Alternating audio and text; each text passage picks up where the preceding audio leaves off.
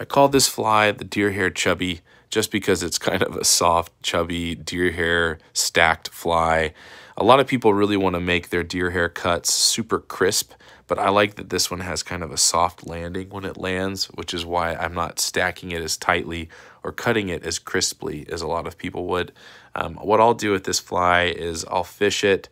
I'll try and get my fly to land directly under a tree, two to three feet off the bank if I'm fishing from my boat or my belly boat. And I'll strip it in pretty quickly at first. And then if that's not catching fish, then I'll go back and do it more slowly. I'll throw it, let it sit for like one 1,000, two 1,000, and then start stripping it kind of slower. Uh, and eventually you find the right rhythm and then it really produces. But it's really fun to fish because it's easy to see, and then the blow-ups on it are just awesome.